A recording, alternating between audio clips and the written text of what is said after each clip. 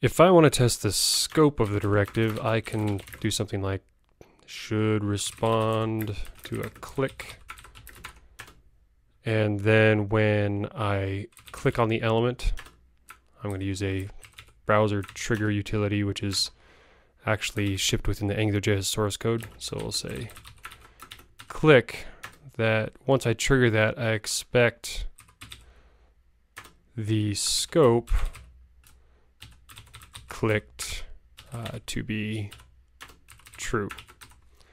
So this scope is simply the scope that I injected into the element and I can just expect it to be true if I say element bind click and then scope clicked is true.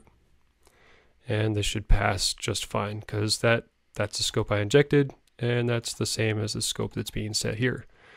Now, where you may run into a problem is if you isolate the scope. So say, for example, um, we'll return a link function here, or using the directive descriptors, and then we'll isolate the scope.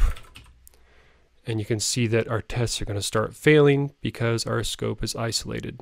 And we'll get more into testing those later. But you just need to realize that you can no longer uh, test the injected scope. You have to get the scope off of the element using this syntax element dot scope and then check the property on that because this is the scope that the uh, element or the directive created for it, the isolated scope, instead of the scope that you injected. Big difference, very important to know.